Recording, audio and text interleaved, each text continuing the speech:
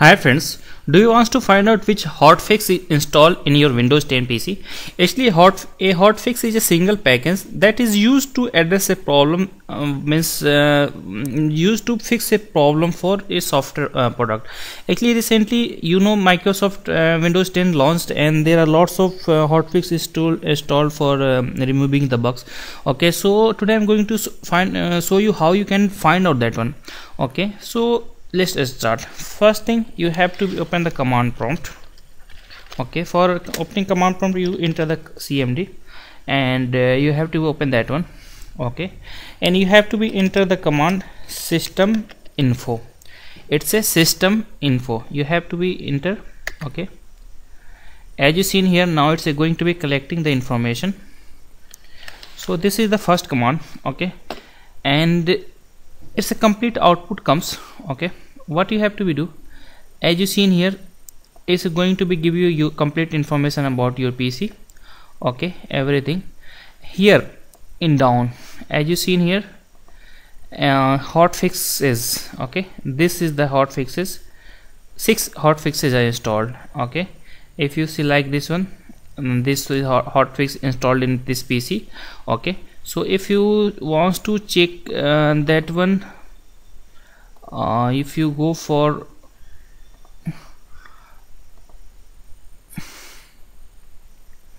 google like see this is the hotfix that i found okay. So this is you know about the windows 10 update fails uh, fail issue. So these are things with you are able to find out which um, uh, hotfix is installed. If you go for the google you can find out uh, what's means what's the uh, fixes that is uh, going to be provided by the particular fix. Okay. See is also for update. Okay. So first thing is you can find out with the uh, command prompt. Other thing is you can find out the with the PowerShell also okay? You have to be open uh, PowerShell okay? And after that you have to be enter the command get and uh, slash hot fix okay? And uh, it's not like that yes it's like get hot fix. You have to be enter as you seen here I enter the command get hot fix okay? Then after I have a description it's a for update and this is hotfix ID and installed by system install even the installation date is there okay? And as you seen here this is for security update this security um, this uh, hotfix and even the installation date is there timing is there.